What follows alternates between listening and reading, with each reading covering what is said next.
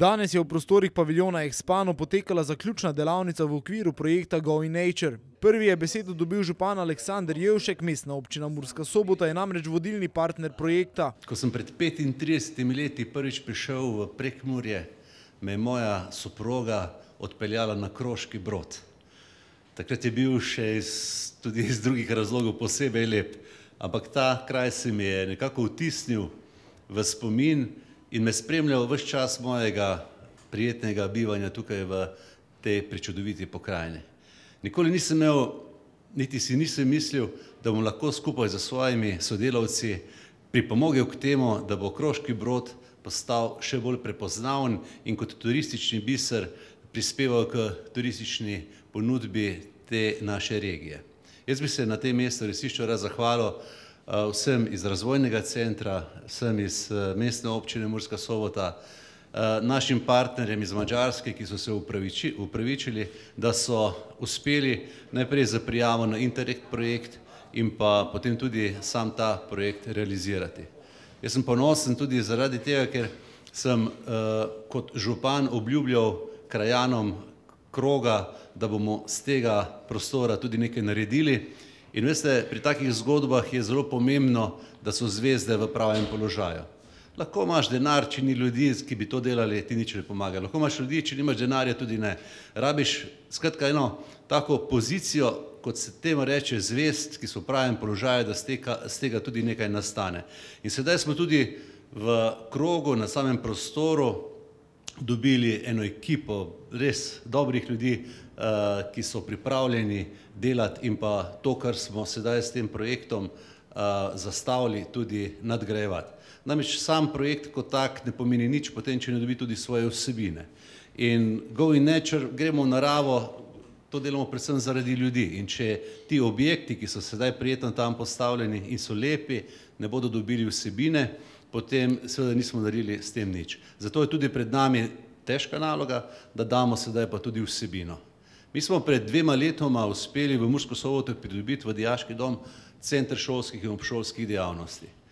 Po našem prepričanju je bilo nesprejemljivo, da naši otroci hodijo v Izolo, na Roglo, na Koroško, medtem ko pa otroci iz ostalih območij Slovenije ne poznajo Pomurja. In sedaj nam je to uspelo in ta Go in Nature projekt je izjemna iztočnica tudi za njih, da se spoznajo z biosfero ob reki Muri in da se spoznajo še z drugimi lepotami in da jih vključijo v ta program. Zahvalil bi se tudi gospodu Ostanu, arhitektu, s katerim zadnje tri leta kar aktivno sodelujemo in ekipo in oblikujemo arhitektonsko ne samo naše mestno jedro, ampak tudi primerno in prijazno naravi tudi ta prostor, za katerega želimo, da bi bil zelo pogosto obiskovan. Torej, hvala lepa še enkrat vsem sodelujočim. Mislim, da je to dobra iztočnica tudi za ostale projekte, ki se bodo vsekakor vedno bolj pojavljali v naslednji finančni perspektivi, kjer je ravno poudarek na tem green dealu, se pravi zelenem dogovoru, kjer se bo veliko, veliko pozornosti namenjalo prav takim projektom, kot je ta, ki ga danes zaključujemo in otvarjamo. Projekt, ki se zaključuje in je trajal od leta dva tisoč sedemnajst, je vodila Darja Potočnik. Projekt je trajal tri leta, ne, zdaj po eni strani smo veseli, da je se to končalo, ampak kot smo se že prej v v uvodu tega pogovarjali, v bistvu ta konec je šele komaj začetek, ne. Pridobili smo mnogo, lahko povemo, da je pravzaprav ta investicija v okviru projekta oziroma vse naložbe v okviru projekta Go in Nature največja skupna na območju ob reki Muri v naši občini, torej govorimo o vrednosti štiristo petdeset tisoč evrov našega in od našega dela projekta, od skupnega dela skoraj milijon odobrenih sredstev in od tega bomo imeli sofinancirano tristo, skoraj tristo štirideset tisoč evrov. Mi, ki smo sodelovali pri tem, smo seveda imeli polno izzivov skozi celoten potek, prav tako tudi tisti krajani v v krogu in predstavniki društev, s katerimi smo predstavljali idejo, smo vsi skupaj tudi danes tukaj prisotni bili tam nekako je, je bila mogoče ne skepsa, ampak eno, kaj, kaj bo zdaj iz tega. Zdaj nas pa veseli, da so odmevi pozitivni, pravzaprav je pa tudi vse te aktivnosti so tudi spodbudile eno pozitivno klimo v sami vasi, v društva so se aktivirale, še bolj uredila območje teh no, pri Brodu, torej pri kajakaših. Drugače pa, kot povedano, mislim, da smo lahko veseli, da uspešno smo zaključili in da bodo lahko vsi naši gosti, kakor tudi domačini to doživljali, to naravo in jo spoznavali. Idejno zasnovo ureditve območja ob Muri je prispeval Aleksander Ostan. Z Muro sem tesno povezan že od mladosti v bistvu. Strokovno pa od srede devetdesetih let, ko se ukvarjam s tem prostorom Pomurja, z različnimi segmenti, s to našo evropsko amazonko, če lahko tako imenujemo, s tem izjemnim potencialom naravne in tudi kulturne krajine, ki smo jo žal tudi do neke mere že malo torej obremenili z urbanizacijo dodatno et cetera, ampak znotraj tega projekta pa mislim, da je bilo zelo fino, da se je dalo strokovno zelo celovito pristopiti in ta prostor ob Muri dejansko najprej prebrati v enem zelo celostnem, trajnostnem pristopu, ki je sonaraven, ki izhaja tudi iz globalnih nekako kontekstov, se pravi problemi klimatskega segrevanja okolja, problemi z onesnaženjem et cetera.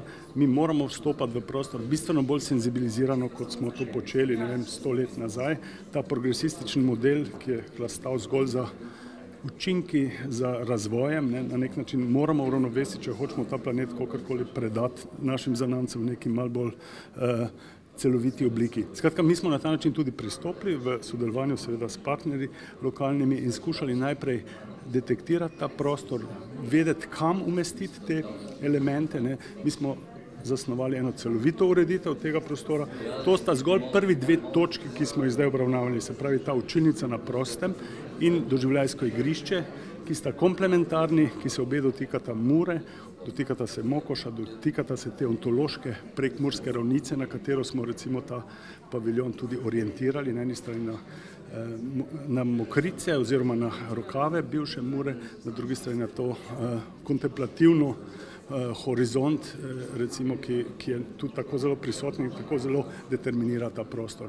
Vse smo naredili iz lokalnih materialov, seveda les, ponor Ceodva, artikuliran na strokoven način, z lokalnimi izvajalci, skromno in zadržano po eni strani, po drugi strani pa en prostor, ki mora biti velikodušen, ki mora biti odprt in univerzalen za vse prebivalce, ki ga bodo lahko živeli, ne, od najmlajših vrtcev, šol do najstarejših, ki bodo lahko prišli tja, bili v stiku bistveno bolj tesno povezani z naravo, medsebojno kot skupnost, imeli tam učne ure, interpretacije naravne in tudi kulturne dediščine, se tam družili in na ta način prenašali to dobro vest naprej na drug način. Se pravi, en tak elementarno zavetišče je ta naša opazovalnica, niti ni opazovalnica, ampak ta recimo paviljon na robu in tudi doživljajsko igrišče, se pravi, neki zelo po eni strani arhaični vstopi v prostor, ki so pa hkrati